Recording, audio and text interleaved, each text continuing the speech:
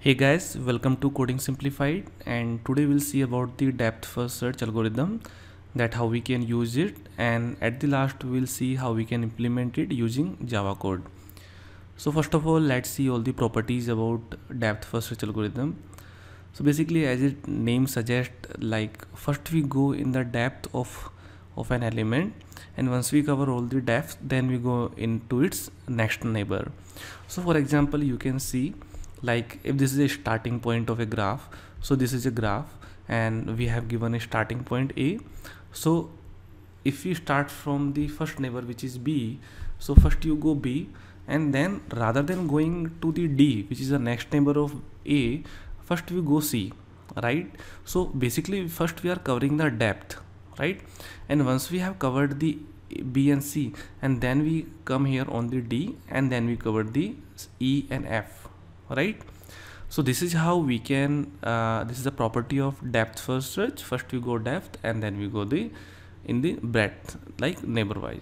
So in last tutorial we also explained about the breadth first search which basically first go in all the neighbors and then it go into deep levels right? So if you have the doubt about the breadth first search so you can also see that previous tutorial where we explained about the breadth first search so now let's see how we can use the depth first search in the graph right? So this is a graph and where we have this a b c all are the vertex. So vertices means that each vertices have the two property. One we have the label. So basically this a b c are the labels. And then we have the visited node. Like whether they are visited or not. So we have basically the boolean variable. And as soon and as accordingly we visit the element we mark them as visited true. So by default all are false. So as soon as we visit them we visit them we mark them visited as true. So that helps us basically to identify that whether we have visited them already or not right? So that is why we have the this edges so edges means uh, we represent edges them as a adjacency matrix adjacency matrix.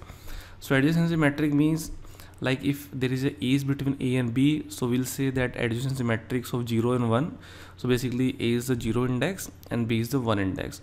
So these all elements are uh, placed according to their index. So because whenever we add the vertex so we have that index. So this is 0 then 1 index 2 index 3 index 4th and 5th right? So we can say there is a is between a and b. It means there is a is between 0 and 1 right? So we can say we have the adjacency matrix 0 and but 1 as well as the 1 and 0 also 1 because it is a undirected graph. So in undirected graph we have both the adjacency matrix as 1 so we can represent them as a is or as a 1 right? So these are the properties of the graph that we have the uh, vertex we have the edges and we represent them by linking as edges right so we'll have the vertex list we'll have the adjacency matrix right? So now let's see how we'll implement depth first search. So what we'll do we'll start from a node we'll start from a element. So in graph like for example here we are taking it as a is the starting point. It can be any point in graph right? It can be b or c or d any point. So let's say we are starting from the a. So what we'll do we'll take a stack right? And we'll put stack a into the a into stack right? So basically what will happen so here's the case that we'll put a into stack. So here we have the stack and as well as we'll print the a. So we'll say okay we have visited the a we'll mark a is a visited element and we'll put into in stack. And now in the next iteration we'll will take the peek of the this stack and we'll check that if there is any neighbor I will will check if there is any neighbor which is not visited yet. And if it is not visited then put that into stack. If it is and if there is no element so just pop out that element right? So for example in this case we have a. So now we'll take peek of uh, this stack which is a. We'll check if there is any neighbor. So yes b is not visited and b has also is so what we will do if this is the case we'll put here b into stack and as well as we'll print b here so that we have visited and we'll mark b as a visited also. Now again we'll take a peek of this stack which is b and again we'll check if there is any element of b which is not visited. So yes because there was a also but a is visited right? So now we'll go into c because c comes first. So now here it will go first. So now we'll add we'll print c as well as we'll add c into we'll push c into stack. Now it will check for the c because c has only one element b which is already visited. So it will return minus 1 right? So minus 1 means pop out the c. So now we'll pop out the c. Now it will check for the b. So now a and c are already covered. Now it will check for d because d is already linked. So now it will add d into stack. So now d is added. So now it will check for d. First it will take peek of d and it will check. So because a and b are already covered so it will add e right? So now it will add e into stack.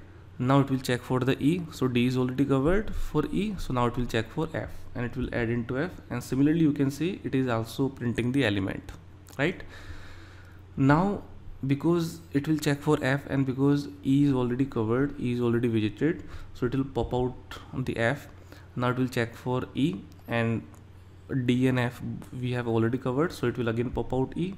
Now it will check for D we have already covered ABE again it will pop out now it will check for B we have already covered and at the last it will pop out A right? So this is how you can see that we are we have printed the element into depth wise right?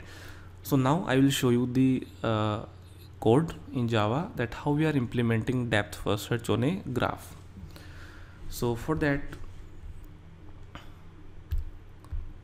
so here I have the DFS app. So I have the class which where I'm implementing the depth first search. So first of all uh, I have I'm implementing the graph. So what is graph? Let me show you. So you can see here that I, at the starting I'm taking that maximum vertex size can be 20 now I will have the vertex list where I will maintain the all the vertexes so that you can see that I have the vertex type now what is vertex type. So vertex has the two property as we explained. One property is a label and one property is was visited. So this is very important property where which will mark that whether the element is visited or not right? So by default whenever we are adding any vertex so we are just adding the label as well as we are marking was visited as false right? So now in the graph we'll have some so as soon as we initialize the graph we'll store uh, will will create a vertex list where we'll have the uh, where we'll have the maximum vertex size as 20 right? So we'll create a array of vertex list. Then it has the adjacency matrix. So as we explained that adjacency matrix is basically the the a's between two elements right? If there is a a and if there is a's between a and b so we can say there is a adjacency matrix between 0 and 1 and 1 is 0 right so at the starting we'll have all the adjacency matrix at 0 now we have the n vertex. So basically it will track that how many vertexes we have added into graph. And now we have initialized the stack which we'll use to implement. So now uh, let me show you by debugging from the starting and I'll explain you as we go further. So first of all it will initialize the all the graph property as well as now it will add the vertex right?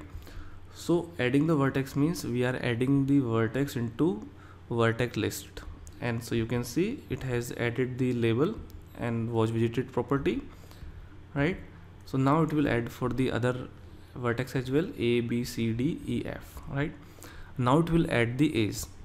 So now you can see we are adding a's for 0 and 1 which is basically ab so we are uh, doing adjacency matrix start and end as well as the end start as one right? So now it will also add edges for the other element as well.